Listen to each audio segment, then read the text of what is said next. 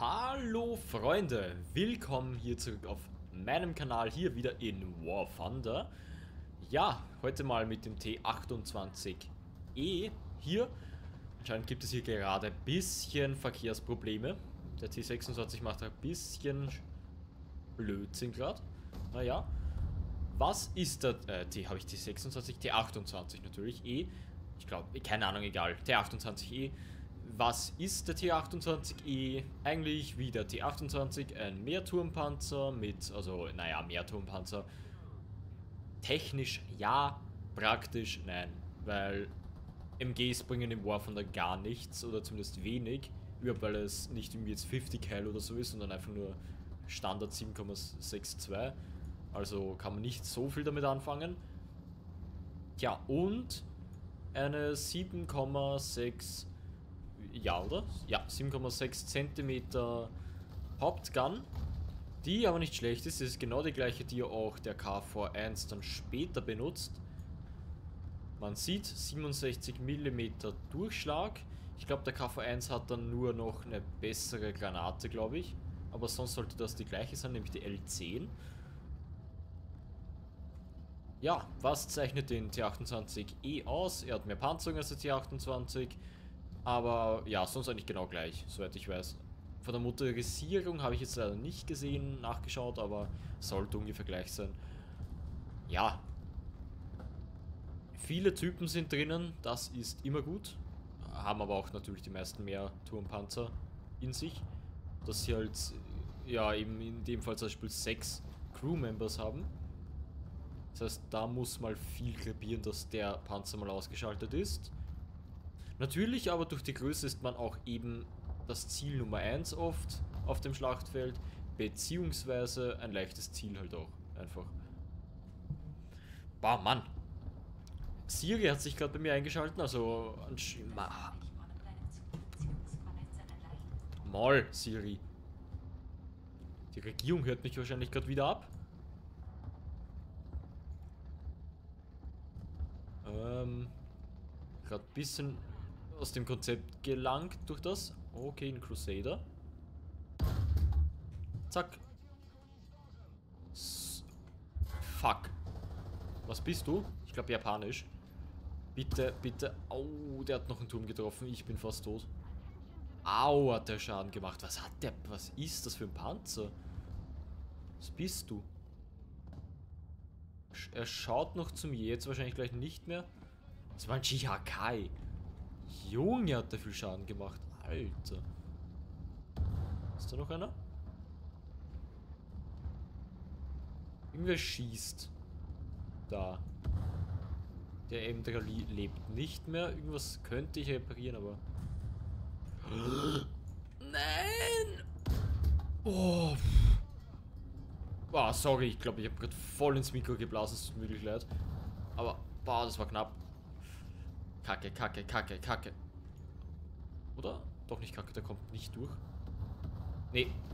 30 mm sollte ich, oder insgesamt 40 eigentlich haben. Das heißt, der kommt nicht durch. Ah, hallo. Ah. Mann. Gönnt mir nicht den Kill.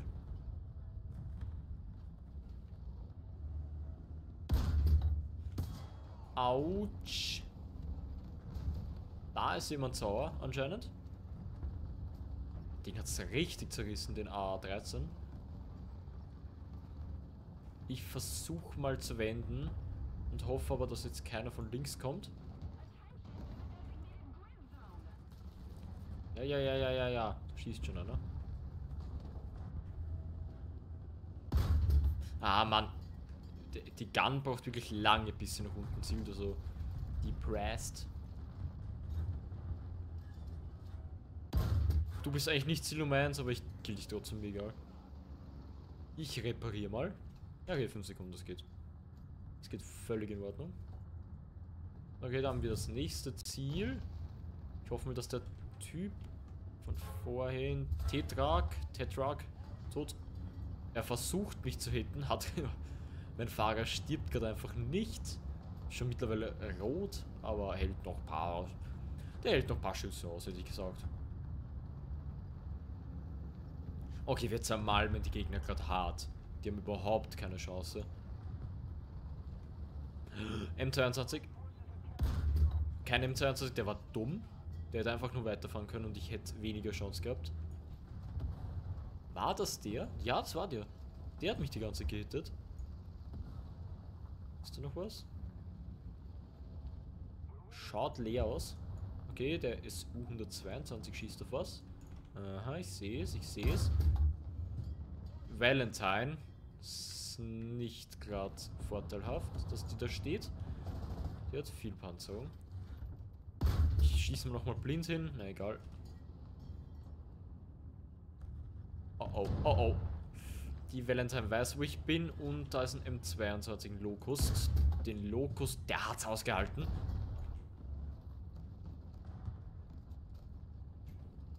Du siehst mich nicht, oder? Kleiner Mann. Nee, sieht mich nicht. Da haben wir einen Stuart. Das war der dreckige Schuss, den ich je, den Dreck, der dreckigste, ja, der dreckigste Schuss, den ich gerade je hinbekommen habe.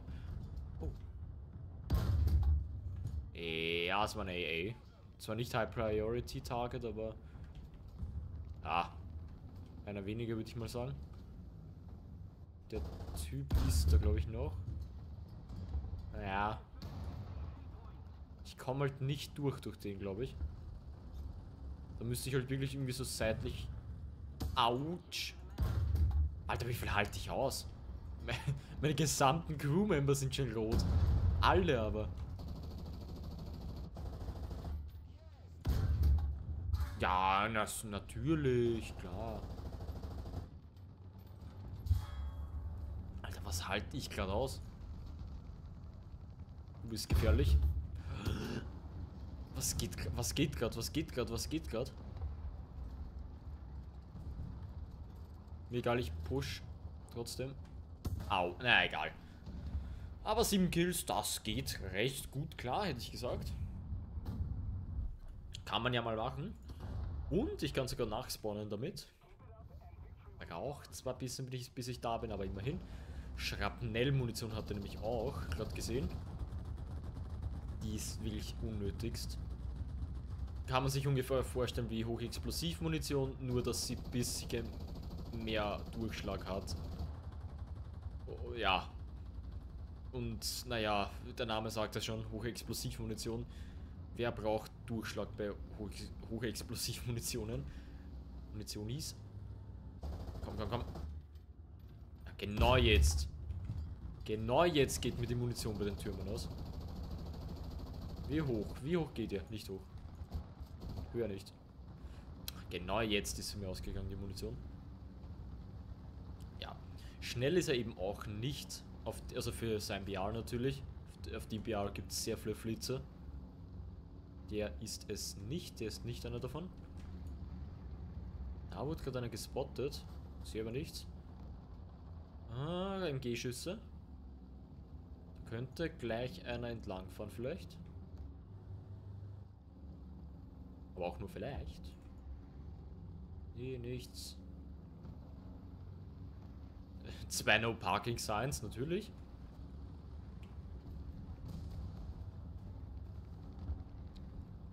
Wer wird sowas konstruieren?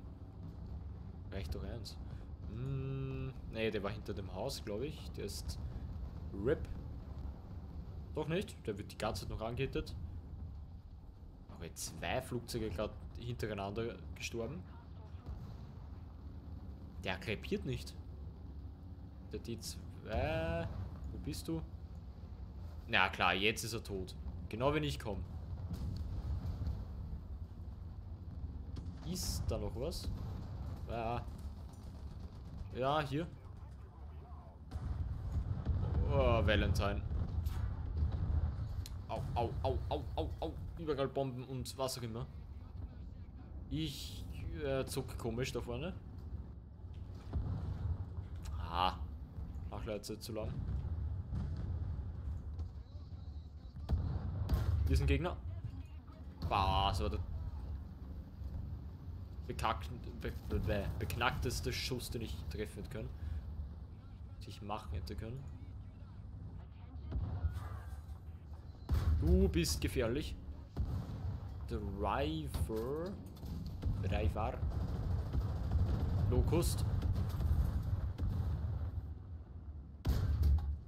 Locust down. Sehr gut, der wäre gefährlich.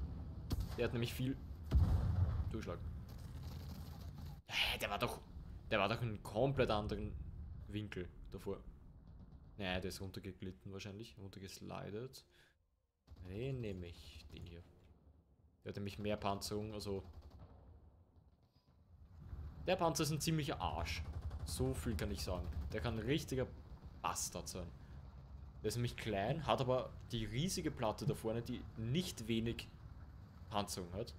Und äh, ja, da tun sich wirklich viele schwer, glaube ich, bei denen. Also zumindest kann ich mich erinnern, dass ich den gehasst habe. Also zumindest dagegen eben zu spielen. Kleiner Gremlin. Was jetzt der Turm auch noch richtig hässlich eigentlich, aber naja. Hat halt seinen Rasenmähermotor auf der Seite. Hört sich halt wirklich wie ein Rasenmäher an und ich glaube, der ist auch nicht wirklich viel motorisiert. Nee, der ist sogar besser motorisiert. Der hat zwei davon. Der hat zwei Rasenmähermotoren. Der T, das ist der T80, glaube ich, oder? Wenn ich mich nicht irre. Ja. Der T, ich glaube 60 ist der Vorgänger davon mit der 2 cm, glaube ich, oder so. Ja, 2 cm, glaube ich. Und der hat, glaube ich, nur einen von diesen Rasenmähermotoren. Ist aber erstaunlich ähm, ruhig zum Fahren. Weil, wenn man sieht, während ich im Scope bin, es verzieht halt überhaupt nicht irgendwie. Es wäre stabilisiert. Natürlich, wenn ich so durchfahre. Ja, langsam ist er nicht. Langsam ist er nicht. Obwohl er eigentlich... Der hört sich halt wirklich an wie ein Rasenmähermotor. Der Motor. Amen. Du siehst mich nicht, oder? Ja, das ist OP. Das ist einfach OP. Die Valentine auf dem BR. Ich, man kommt da nicht durch. Ich meine, ich mein, die Runde ist sowieso gleich vorüber, aber ich kann es ja nochmal versuchen. Ja, braucht er 10 Jahre der Turm. Ja, egal. Mann, Mann, Mann, Mann, Mann. Ha. Ja.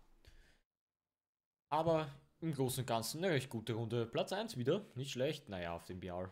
Ja, weiß nicht, ob ich mich da so fühlen sollte dafür. Ja, okay, gut. Auch Erfahrungen für den bekommen. Würde nur interessieren. Ja, naja, ja. 56 mm hat der. Nehmen wir mal äh, irgendwas Deutsches und ja, also keine Ahnung, Panzer 3 J1. Ja, okay. Kann ich vergessen, der kommt durch. Ähm, irgendwas 2.0. Ja, man sieht. Der Panzer 4 mit seiner APAG-Run, der kommt nicht durch. Zumindest da, da kommt er locker durch. Da macht's zack und bumm. Hat auch nur drei Crewmember, noch ein großer Nachteil davon. Ja, aber es ist am meisten um den gegangen und der ist nicht schlecht. Der T28 überhaupt der E. Sein Vorgänger, der T28, spielt natürlich noch auf einem geringeren BR, hat aber natürlich gar keine Panzerung. 20 mm, da 30, bringt, die, bringt einem überhaupt nichts. Da, wenn man, wenn man sogar Pech hat, wird man von 50 Cal durchlöchert. Also, ja. Yeah. Nicht so gut, finde ich. Der, der da auf 1.3, ich finde sogar besser. Der ist natürlich eben noch niedriger, hat aber auch eine gute Round, weil man braucht auf dem BR wirklich nicht viel Durchschlag. Und die reicht ja vollkommen. 37 mm Durchschlag und fucking 155 Gramm Sprengstoff. Die zieht rein und vaporisiert alles in seinem Umkreis darin. Also, die ist Bombe. Wortwörtlich. Und man sieht dann wieder den Vergleich mal, wieso wird man eine Schrapnellmunition mit 18 mm Durchschlag mit 85 Gramm Sprengstoff nehmen, wenn man eine APHE-Round mit 37, also ja, ungefähr das Doppelte, würde ich, ja, kommt, kommt sogar gut hin, um, ungefähr das Doppelte an Durchschlag plus, ja, auch noch ungefähr, ganz grob geschätzt jetzt, auch nochmal das Doppelte an Sprengstoff. Wieso wird man die nehmen? Für was gibt es die überhaupt? Die ist nämlich auch falsch gemodelt im Game. Die, da wird nämlich nicht diese, na, dieser Kugeln, Kugelregeln, äh, die, genau die Kugelregel. Ähm, der Kugelregen, den man da sieht bei der schönen Gun, die finde ich cool, aber die Animation, die sie eingeführt haben, naja, der ist nicht gemodelt. Es ist einfach wie wenn eine Sprengstoff, also eine HE-Round durchgehen würde und dann nochmal explodieren würde, gleich danach. Ja. Also im Großen und Ganzen Dreck. Aber ich finde den nicht schlecht. Den werde ich vielleicht im nächsten Video spielen. Kann ich mir gut vorstellen, dass ich den spielen werde. Und was ich mir, glaube ich, auch vornehmen werde, ich werde mir ein paar Skins raussuchen, damit das ein bisschen lustiger wird, ein bisschen ansehnlicher wird, denke ich. Werden zwar jetzt nicht wahrscheinlich viel historische Skins sein, denn wie soll ich sagen, ich liebe es auch so komische Skins zu nehmen, ganz ehrlich. Wie man es da sieht, werde ich auch mal spielen, die KV2. Ja, oder? Ein schöner Typ, oder? So richtig Bob der Baumeister angelehnt, mit einem richtig glas, also glasigen Mund. Richtig horrific. Plus zwei Augen noch extra drauf mit Warning 40 Sekunden Reload. Komplett gelb, ein einzige, eine einzige Zielscheibe auf dem Schlachtfeld, aber finde ich cool. Finde ich cool. Aber ja, das war jetzt genug geschwafelt von mir, würde ich jetzt sagen. Danke, danke fürs Zusehen. Ich hoffe, es hat euch das Video, also das Video hat euch gefallen. Ich hoffe, ich sehe euch morgen im nächsten Video auch wieder. Habt einen wunderschönen Tag. Lasst ein Like, Abo, würde mich wirklich, wirklich freuen und diesen Kanal auch immens unterstützen, weil es macht mir wirklich Spaß auf YouTube zu sein und ich würde schon gerne noch mehr Leute damit erreichen. Wäre wirklich, wirklich cool. Und ja, ciao.